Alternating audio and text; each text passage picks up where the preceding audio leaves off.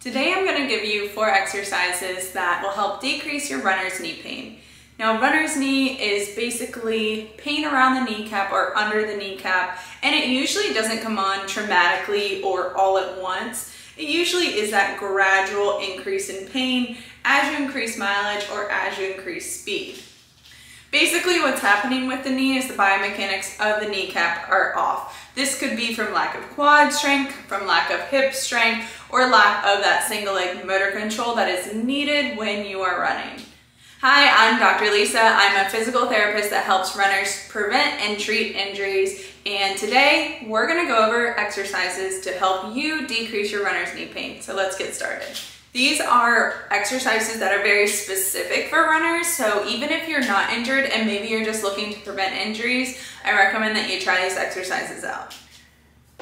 The very first exercise that you're gonna do is called toe tap. So all you're gonna do is stand on one leg, put your weight on that one leg, hands on your hips, keep your pelvis level, so make sure you're not dropping your hips, and you're just gonna tap that foot out to the side, back at a diagonal, and then to the front at a diagonal. Now, to do this exercise correctly, what I want you to do is make sure you first have a good single leg position or stance. So you're gonna put that big toe and really push it into the ground on that stance leg. Knee stays slightly bent and butt stays back. So you're loading your quads and you're loading your glutes. If you just keep your butt tucked and bend that knee forward, you're not gonna get the most benefit out of this exercise. So make sure you really focus when you're doing this one. So big toe drives into the ground, knee is slightly bent, and weight is in your quads in the front, and your glutes in the back.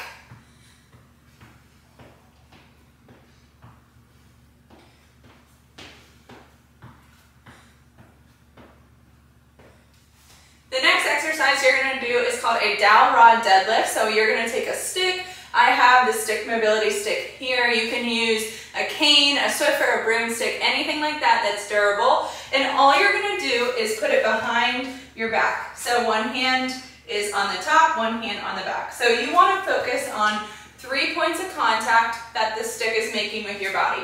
The first is the back of your head. The second is your mid back here. And the third is right at that sacral area or your glutes, but more so right above your glutes in that sacral area or low back.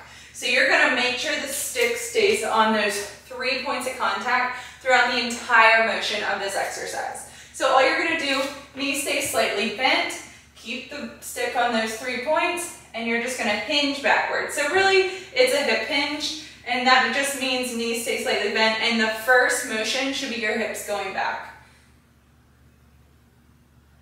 As you hinge forward and come back up. Now, I love this stick because it really just gives you feedback on if you're doing this correctly. So if I am not doing it correctly and I'm rounding my spine more than I should, it might look like this. Versus keeping three points of contact, butt goes back, stays with that neutral spine, as you come up. This exercise is important because it teaches your body to load your glutes versus only your quads or only your hip flexors or only your low back. A lot of compensations can happen where you're not loading your glutes correctly when you're running.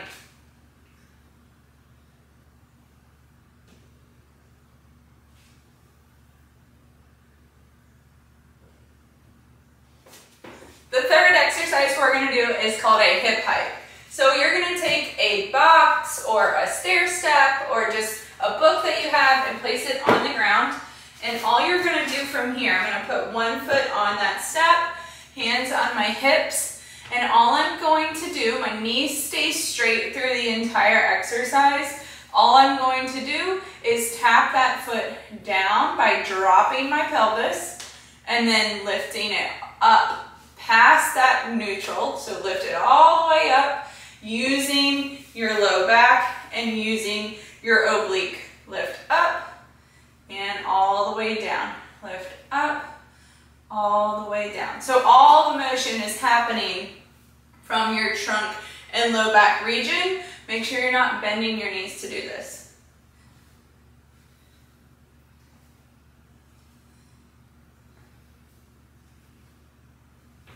The fourth exercise you're going to do for runner's knee pain is a split squat. So you're gonna take a light to medium weight and you're just gonna put one foot in front of the other. Now, when I do my split squats, I like to have the weight um, in the hand that has the leg in front. You can always change around with where the weight is. It just depends what you wanna work on. So there's no right or wrong way to do this, but if you switch it up, you might notice it's working different muscles. So for runner's knee, I like to have the weight on the in the hand that has the leg in front. So in this case, my left foot's in front, right leg is behind, so my weight's in my left hand. All I'm gonna do, so the weight is pulling me to the left here, so I'm gonna push my big toe into the ground, make sure I'm pulling forward so I'm staying in line and not leaning to the left, and I'm just gonna squat down and up. Now with runner's knee, if you're having pain with any of these exercises, you either want to decrease your weight, decrease the reps, or decrease the range of motion. So if you're having pain with a 15 pound, try a 10 pound. If you're still having pain, just go in a smaller range of motion. You really just want to find what exercise is going to work for you so you can build up that load and adapt to it.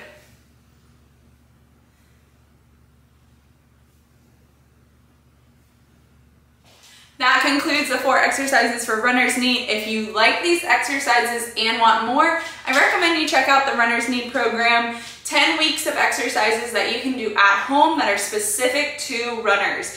Dealing with runner's knee pain, pain around that kneecap, or pain right under that kneecap. I encourage you to check it out and I'll link it below.